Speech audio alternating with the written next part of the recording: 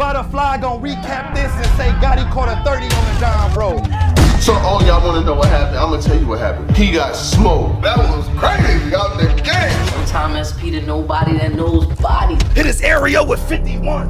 Everything in the Butterfly. When you start rapping like that? Cheer, cheer, had to spin the block, flow harder than a cinder block. Salute to the subscribers. That notification gang, ricegangclothing.com for the merchandise. You heard me right. Just leaving the gym, heading home. Got some merchandise orders to work on tonight and things like that. Yeah, yeah, yeah, yeah. So, Ultimate Rap League. Salute to Ultimate Rap League. Everything that they got going on personally and professionally. They just had the event Summer Madness 10 where you had a bunch of dope battles on there. And today, Bill Collector versus Holmesy dropped that was cool. It was a cool little battle. wasn't too crazy. And then they released an announcement that the whole event will drop on Monday. Now, I know that a lot of some people would think that this is big news. Other people would be like, oh, what does that mean? Let me tell you what that means. That means we can see all the battles from Summer Madness again without having apps for that, without having to get the link from a man who got it from a man who got it from the bootleg man. And I think this is dope. The reason why I think this is dope is because now you can probably, hopefully, let's hope they keep the same energy and keep these events coming out fast. Because to be honest, for the last couple months, a lot of the battles that we were getting on the app were battles that we just saw. So we're literally paying to watch battles that we saw and the app really was like it was cool but i would see a lot of people like i'm getting rid of this app. Just just keeping it honest. I kept it. I stayed the course but it wasn't a lot of new battles dropping. Just uh, like you would literally stretch the product because you had an event then for like the next week or so or the next two three weeks all we're getting is one battle one battle one battle from the same event that we just saw and a lot of the time, I'm not gonna lie to you, I would like get a notification, I click it, see it was something I already saw, and I just exit right back out of it because I already saw it. Not only have I already saw it, I already recapped it. So by the time the battles come out on the app, they not even like, you know what I'm saying? They they not as hot as they was. They cool. Some of them are still fire, but a lot of them lost traction by the time they dropped because you don't waited three weeks to see a battle that was already on the caffeine live stream. Um, I think that puts a little pressure on other leagues to step their shit up and get some more content out.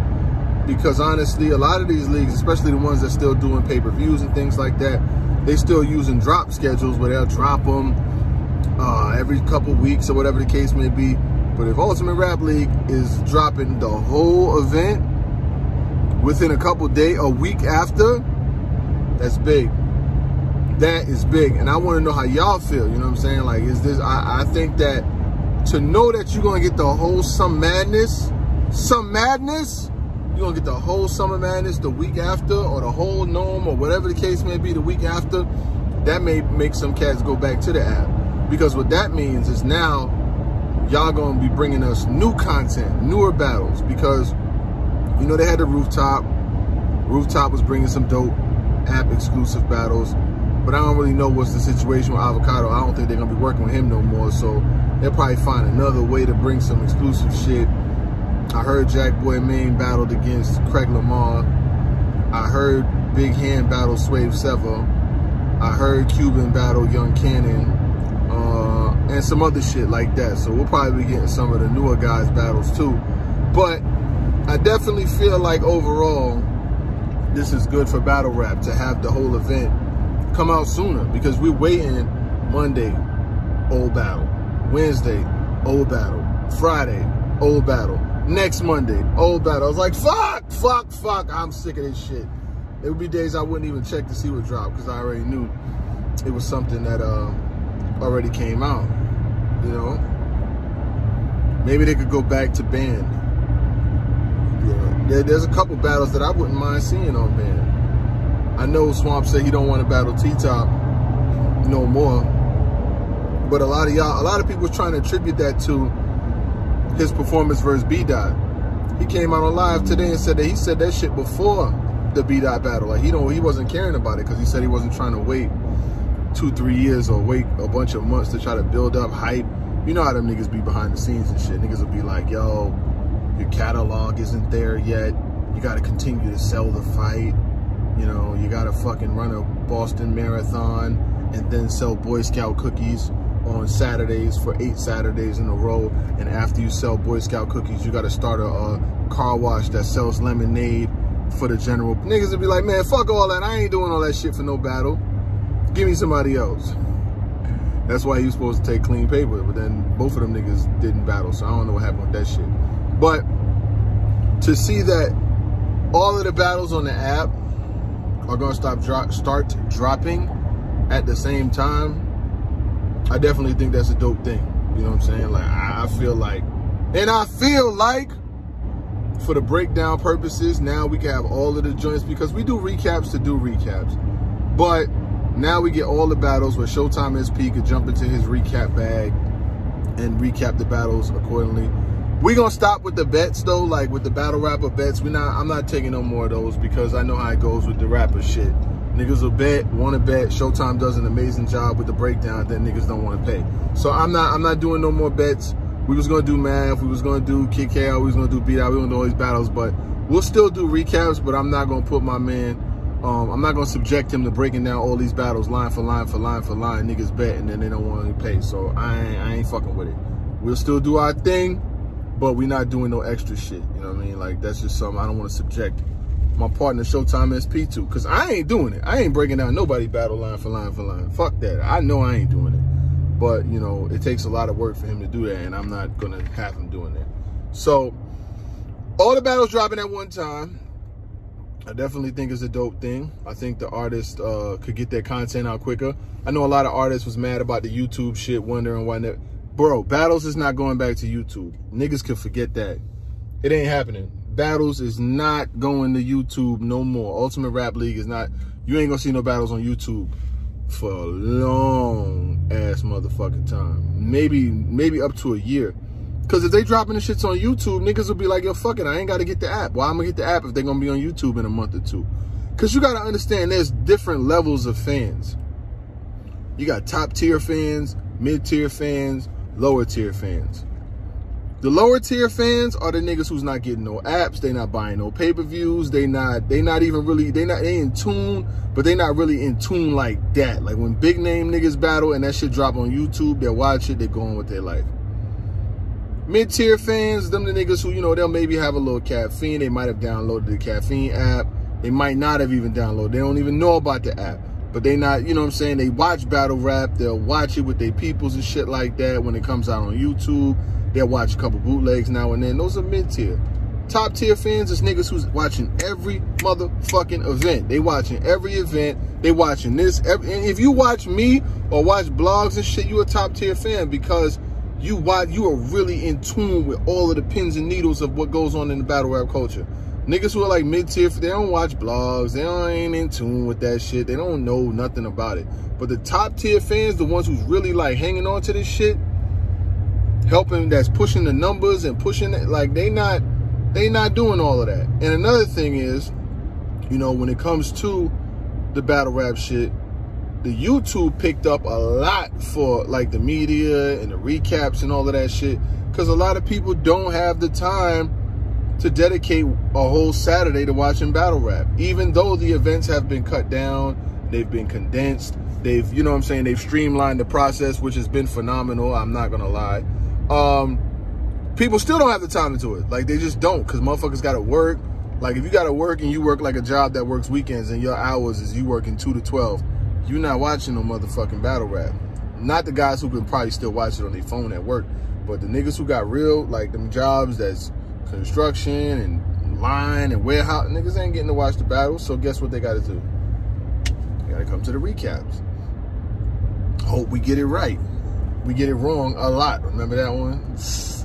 Uh, but what I will say with the with the whole event dropping sooner, that's definitely a dope thing, and I can't wait to see that happen.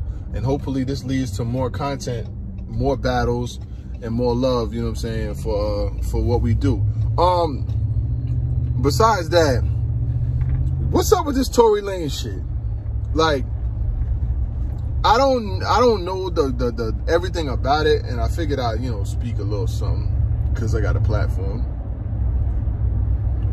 Tory Lanez is under scrutiny for allegedly, I'm just gonna say allegedly, allegedly shooting Meg the Stallion in the foot, right? Allegedly, that's what they're saying. That's what she's saying. So he didn't make a statement.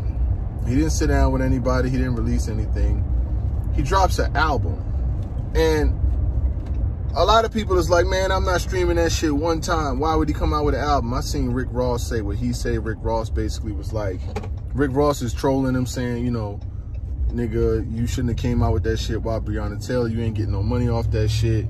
And, and things like that. What what do y'all think though, as as the fans of hip hop and do y'all did y'all listen to it? Are y'all actually peeping it? Cause I mean, I don't know. I just don't know what to think. You know what I'm saying? Like it's weird seeing that he actually comes out with a whole fucking album in the midst of everything that's going on. Like I, I was like, damn, I thought it was kind of crazy. I was, I, I mean, I, I heard, I heard, I heard, I heard, I had to skim through it to see what this shit was talking about. But it's literally 17 tracks. This nigga's doing 17 tracks talking about her. I'm like, oh, no, I can't. Uh, I, I couldn't do it.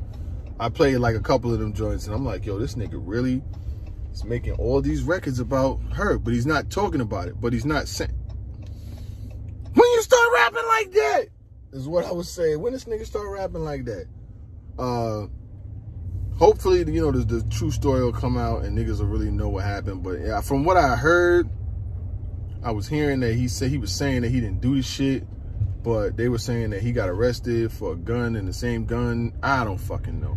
What I really think happened, I'll be honest with you, what I really think happened.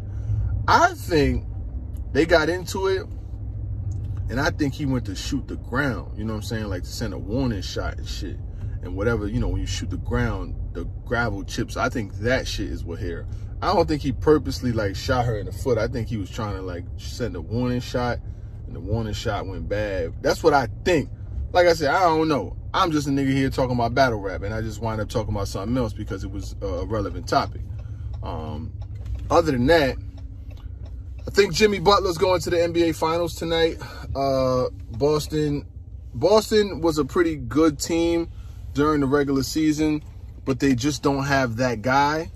And Miami has that guy and a couple more of them guys. Tyler Herro is balling like a motherfucking hero. Uh, Jimmy Buckets is going crazy. Bam Adebayo is going crazy. Duncan Robinson. They got Miami got too many weapons. Um, in the playoffs, when the rubber meets the road, the core of Boston just really isn't good enough to sustain what Miami can do. Tyler Herro scored 37. That's number one guy numbers. Jimmy Butler could score 37. Goran Dragic could score 37. Like, they got mad people who could score 30 or more. Boston has one, maybe two. Jaylen Brown, Jalen, Jalen, Jayson Tatum could score 30. Jaylen Brown can score 30, but he ain't doing it in the conference finals. Get the it's not gonna happen in the conference finals. Uh Kemba Walker could score 30, but it's probably not happening in the conference finals. Those are like the only two besides Jayson Tatum who could score 30 in the conference finals. And when it comes to like the conference finals, that's the East Coast equivalent to the NBA finals. Them the games where the shots, the, the possessions get shorter, the tights get sh shots get tighter, and the motherfuckers who score 30 is few and far in between. But Miami, Oh, they got them young boys letting that motherfucker fly. Tyler Herro dropped 30 on your... He dropped 37 on him the other night, and he'll fuck around and drop 30 on him again tonight. And he only started eight games this year. That shit's crazy. I think that shit's crazy. Um, We'll see, though. But if it's my prediction, I predict Miami to win tonight and go to the NBA Finals and be waiting for the Lakers there. And I think the Lakers will win tomorrow night. Denver's a good team. But uh, they not fucking with my with the Lakers. Like they they they not. The Clippers have they showed the Lakers showed the Clippers that that ain't this and this ain't that. Like it's a it's different. It's levels to the shit, and they finding out real quick. Like I respect the fact, and I know I'm just rambling about some shit now, but fuck it, man. You know what I'm saying? Ain't got nothing to do. Watch this shit. Watch this shit. Follow me, my nigga. Follow me. Follow me. I respect the fact that LeBron James made it his personal business to defend Jamal Murray down the stretch. That shit means a lot. I've seen people lose series because they were unwilling to guard the superstar on the other team. Unwilling to guard the superstar on the other team. For whatever reason, I've seen this shit happen multiple times. And you'd be like, dog, why the fuck wasn't he guarding him? You know what I'm saying? That shit happened, um, that shit happened with Kawhi and them when they was um when they was in the other series. And Paul George and them. Niggas didn't when when oh when um when Kawhi got burned by uh by Luka Doncic in the first round, when Luka hit that game winning shit, they was letting Reggie Jackson or somebody, one of the motherfuckers who, who wouldn't even be starting, guard him. You got to take that challenge. The main star of the game has to take the challenge. You see how LeBron took that challenge last night? He was like, fuck that. If we losing, we losing on my back. I'm shutting this nigga down. Now, Jamal Murray did hit that nigga with the whoop-de-whoop. He did hit him with the whoop-de-whoop. But that's going to happen, though. Those type of layups, that shit's going to happen. It's going to, it will happen. If you, if you, if you guarding the best nigga on the floor, you going to, you going to get crossed over. You going, you going to get, you going to get shimmy shammed. You're going to get in and out. Of. You might fuck around and get dunked on. But the most important thing is the win. Um, if y'all want me to talk about more shit like sports and all that shit, you know what I'm saying? I I incorporate some of that shit. I was gonna do an actual sports YouTube channel, but but what I got going on, I just got too much shit going. I, I, I would never have the time, you know what I'm saying? My family would be like, nigga, cut that motherfucking camera off, nigga. But if you want me to add some more of that type of shit in here, I will do it. Just let me know. Just say, yo, we need more. Say, give them more, give them more, and I'll do it. Vada Fly gonna recap this and say God he caught a 30 on the Don Road. So all y'all wanna know what happened, I'm gonna tell you what happened. He got smoked. That was crazy out the game. Sometimes SP to nobody that knows body. Hit this area with 51. Everything in Nevada flies. When you start rapping like that? You rapping with blind ties. Can't trust them around you. This should be the mob ties. Yo. Look.